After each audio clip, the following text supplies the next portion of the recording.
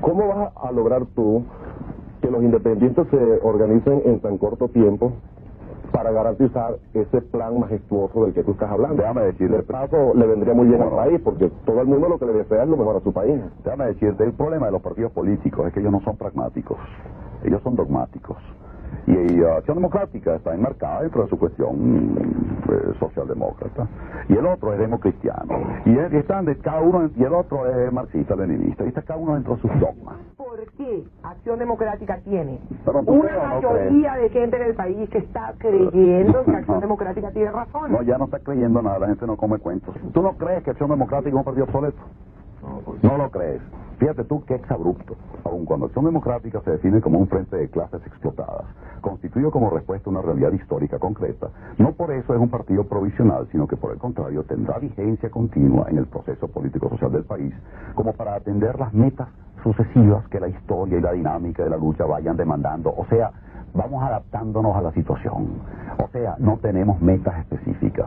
O sea, no tenemos una, una política a largo plazo y algo concreto que ofrece la nación sólido en 20 años, sino que nos vamos a ir adaptando a lo que vaya saliendo. Eso es lo que dice aquí. Para llegar más Eso, eso te completa simplemente el concepto de que si estamos frente a partidos dogmáticos que no están al día, yo soy un hombre pragmático, humanista. Yo creo en la moralidad práctica. Yo no creo en morales abstractas porque les tengo pavor. Creo en la moralidad práctica. Soy un hombre pragmático y humanista.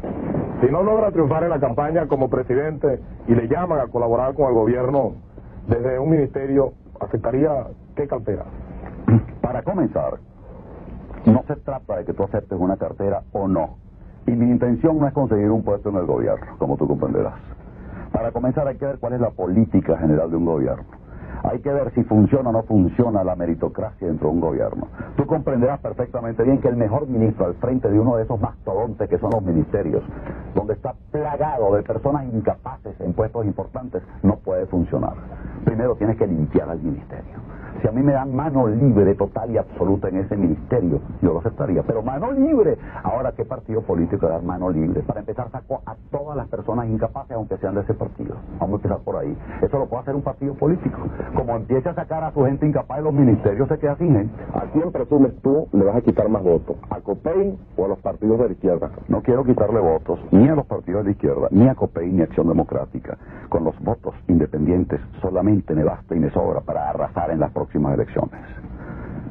Es más, ¿quiere que te diga una cosa? Yo no quiero ser presidente, como quien dice, yo quiero ser torero. ¿Tú sabes por qué yo voy a ser presidente de nuestro país? Porque tengo el deber de ser presidente. Yo estoy aquí simplemente cumpliendo un deber. Yo no estoy aquí, o es que tú crees que yo voy a ser, que quiero ser presidente porque quiero serme famoso o porque quería una buena casa, o porque quiero un buen carro. Perdóname, ya todo eso me lo gané con mi trabajo.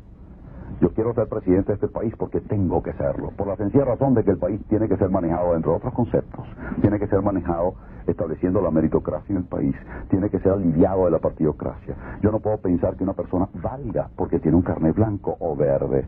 Yo creo que una persona vale por sus conocimientos, por su capacidad, por sus merecimientos y por su competencia. Y estamos en un país donde esto está siendo desconocido. Yo estoy dando un paso al frente simplemente de una situación histórica y estoy simplemente dando un paso que como me definió un amigo mío, como tú no lo hagas, te vas a traicionar toda tu vida. Pero déjame decirte algo muy claro a Luis. Luis, a mí no me interesa convencerte a ti porque tú eres de Acción Democrática. Quédate con tu partido. A mí no me interesa convencerte a ti. de un, de un candidato. No, en absoluto, no, no. No, no, no, no, no, no. Eso lo irá decidiendo cada quien solo. Yo le estoy hablando a las personas como yo que no tienen compromiso con ningún partido político, que somos la mayoría de los venezolanos. Es a ellos a quienes yo le estoy hablando. Los adecos pensarán como adecos, los copellanos como copellanos. Bueno, allá ellos, pues. Mira, Que se queden con sus votos. No, no, quiero- no quiero quitar ni un voto. Otro ya te dice, ¿acaso por qué atacan a los motorizados? ¿Acaso no son hombres humildes que se ven obligados a recorrer las calles de la ciudad para llegar a tiempo una comunicación? ¿Cuenta usted con los votos de los motorizados? ¿De cuándo acá el ser humilde autoriza a faltar a la ley? No quiero el voto del que falta a la ley, sea motorizado o no. Ni quiero el voto de flojos, ni de holgazanes, ni de vivos. Se lo regalo a los partidos políticos de esos tipos. No, va a sacar 10 votos. Ah, tú dices que el país entonces... Yo soy Renio Tolino, yo no soy político tradicional y yo no acepto preguntas bobas. Quizás otro- el oyente. a ese que me está diciendo que, que ese, ese motorizado también es bobo, si no, no es bruto. Y yo le estoy diciendo a eso que de cuando acá el ser humilde autoriza a faltar a la ley. Porque quien yo critico al motorizado que se come las luces rojas y no respeta las señales de tránsito y se monta arriba de la raya y pasa por encima de las aceras. Y ese motorizado es la desgracia de los demás motorizados que sí cumplen con la ley. Luego, ese motorizado no quiero su voto de ese motorizado. Eso es lo que dije porque no lo quiero. Yo, quiero los votos de la gente que cumple con la ley y que le gusta el orden en el país. Ese es el voto que yo quiero. Y como creo que la gran mayoría de los venezolanos quiere es eso, por eso es que quiero ese voto, porque además estoy dentro de esa línea de pensamiento. Y tú me dices a mí que entonces voy a, a conseguir 10 votos nada más. Hágame el favor.